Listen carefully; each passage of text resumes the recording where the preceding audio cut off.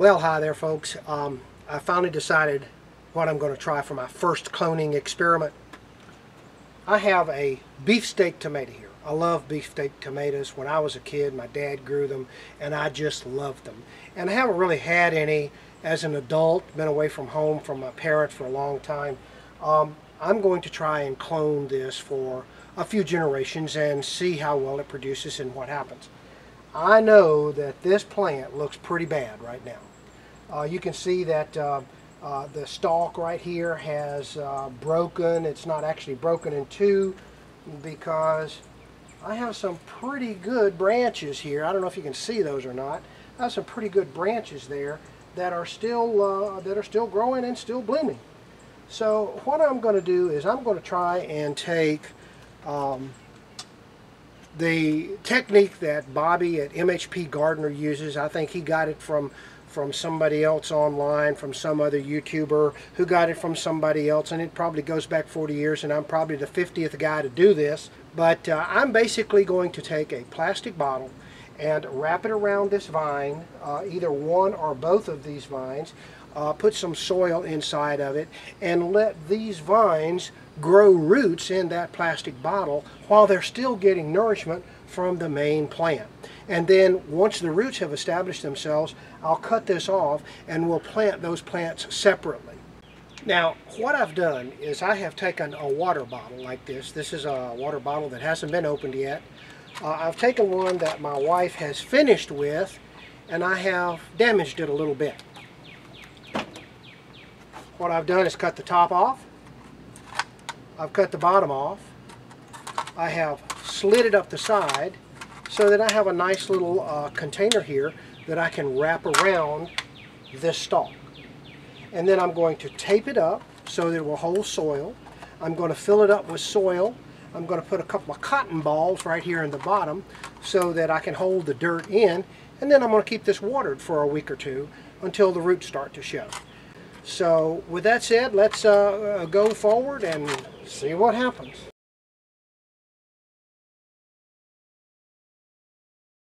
Okay, the first thing I'm going to do is decide where I want to put this um, this bottle.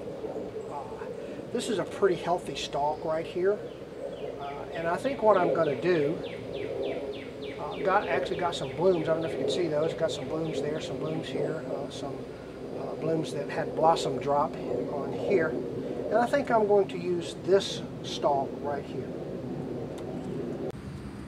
I don't know how well you can see this, but there's a bunch of hairs here that have already started, look like they've started to form some, uh, some uh, roots out of this stalk. Let me uh, zoom the camera in so you can see. You can see right along here where these hairs are. And uh, I'm going to use that as my first uh, cutting point. So the first thing I'm going to do is I'm going to cut off these uh, extraneous pieces that I'm not really interested in.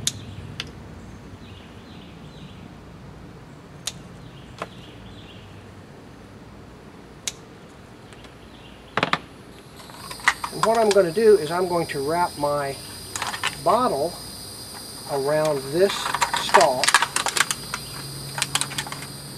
just above this root node.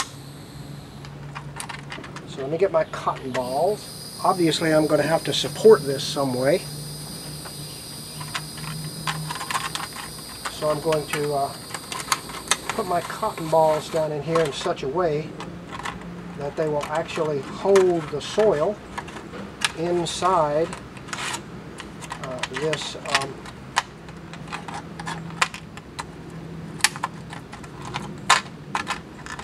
this plastic. I have a, an old roll of duct tape. I don't know if you can see that. It's in pretty nasty shape, but uh, it's pretty good quality duct tape. It's just been laying in my hot garage for three or four years, and I'm just going to peel off a little strip of this. There it goes on the floor. And uh, what I'm going to do is I'm going to get this down here and I'm going to use this to close up this plastic container. Get this thing wrapped around there good. I don't really care if it's not watertight. Uh, what I'm interested in is um, making sure, what I'm interested in is making sure that uh, it will hold the dirt. So I'm going to put it down here where I want it to be. And I'm going to stuff these cotton balls down where I want them to be so that uh, they will keep the soil in. Now, one thing that I'm going to do that some of these other folks did not do, I am going to actually spray uh, this root and get it wet. Well, I think I'm going to spray it and get it wet. Okay, there we go. And uh, what I'm going to do is I'm going to spray this stalk and get it good and wet before I put the uh, before I put the soil in. And I'm kind of propping it on this uh, on this uh, tomato cage from this other Rutgers tomato that's about seen its better days. And uh, here I have some potting soil that's left over from uh, some of our other uh, gardening activities. And uh, I'm going to crumble it up good and put it right down in here.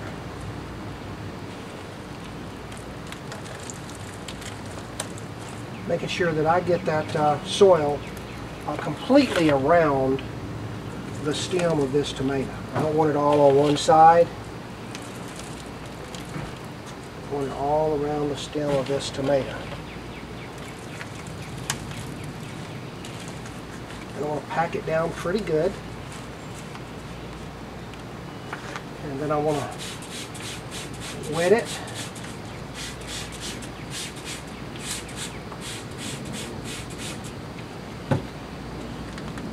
Down some more, make sure I've got it down fairly firmly around this plant.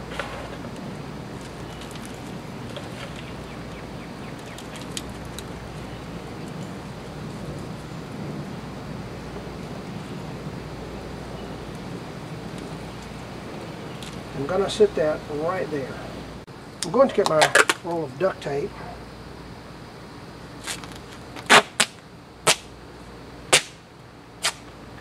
I want to keep this plant kind of upright while it's growing. So what I'm going to do is I'm going to wrap duct tape around this um, basket, this uh, tomato cage, and up both sides of the bottle so that I can get that plant to stand upright. And what I'm going to do is I'm going to flood it with water the first time until water comes out the bottom. And uh, we'll just keep pouring water in there. I want to get that soil good and wet.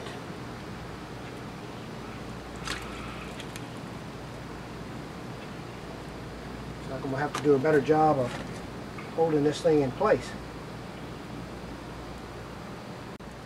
And you can see the water is dripping out the bottom of this, but the soil is staying in. So I'm just going to keep this thing wet. Now, what's going to happen uh, is that over the next week or two, as I keep this wet, the roots are going to develop on this stem. While this plant is still getting nourishment, this part of the, the new plant is getting nourishment from the original plant. And hopefully we'll be able to see this grow rather than just cutting this off, sticking it in the ground, and having all the energy go to make roots while there's no other energy to support the plant, and typically this will wilt and just looks awful. Uh, so this way I will actually have the plant uh, getting nourishment, this part of my new plant getting nourishment from the original plant while I am rooting this. And I'm going to do the same thing over here on this stalk as well. I'm going to uh, put uh, get another bottle and uh, do uh, the same thing over here so that I'll have two of these uh, beefsteak tomatoes that hopefully I can get some tomatoes off of this fall. Okay, now um, I have, with the camera off, I've gone back and finished what I had planned to do here. you can see that I've got this stake in the ground here to hold these things vertical. It's tied to this tomato cage to keep it vertical and I've got both of these um, uh, limbs uh, in plastic pots with water and I've got the tomato uh, that I'm growing tied up so that they will go towards the sun. As you can see, this tomato plant has been uh, bent, trying, I mean, it's been leaned over, kind of like this one. This one is going over and then coming back up. So uh, this is going to have to go towards the sun over the next three or four days, and uh, I'm tying it up a little bit straighter so that it will do that. This is uh, some cotton butcher's twine. It's very soft, and uh, as the wind blows this, it won't damage this uh, stalk too much. But I've got uh, two beefsteak tomatoes here that I hope that I'm going to clone and be successful with. And we'll just come back and see how this thing goes. Uh, as you can see, they're sitting outside. Uh, we're going to have to water these every morning and every afternoon because we have 90 degree days here in Atlanta, and uh, this little pot of water is not going to not going to last very long. If it dries out a little bit, that's fine, but we can't let it dry out for more than just a couple of hours. It's it's got to get water in the morning and in the evening. This is kind of a little bit of a close-up view, so you can see what's going on here. Take this all the way around so you can see the back side as well.